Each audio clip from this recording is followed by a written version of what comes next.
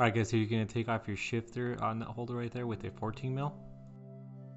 Simply pop out the, the center console, shift boot area. Just pops out like that. Yep.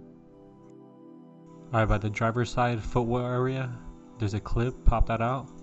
Also on the passenger side, you're gonna pop out that. And then the clip is right behind that as well. Just pop it out.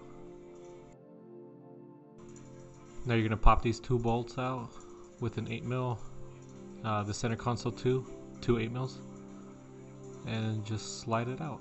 Actually, before that, you're gonna pop out this little uh, connector right here, and just slide it out, just like that. Magic.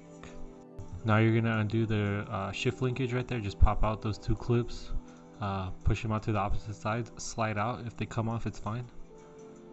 Now you're gonna grab your adjustable wrench and then you're gonna uh, hold on to the linkage right here and twist it um, counterclockwise and then it pulls out from the holder. then you can do that to the opposite side as well. Alright, now once you have freed the holders right there, um, just make sure they're you know on the side and then you're gonna go ahead and you're gonna unbolt your shifter as well. Alright guys keep in mind that my shift uh, holder right there the, the nuts um, the bolts actually they're from Acuity, uh, Acuity. So you're gonna have regular bolts with the rubber grommets if you have not switched them out. And I think they're 12 mil bolts 12 or 14 I believe. But I, I just keep that in mind Alright, now once uh, you remove the bolts right there, just go on and just take them out. To take out the, the shifter, and then you're gonna obviously assemble your um, your NST shifter right there, um, unless you've already assembled it.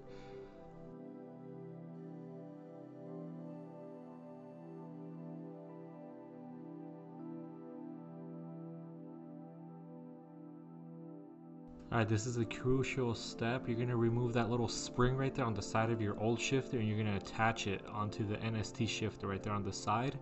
Um, yeah, and then just make sure you do it in the correct orientation. I don't know if that matters or not, but I try to uh, do it the same way that I took it out. Um, yeah.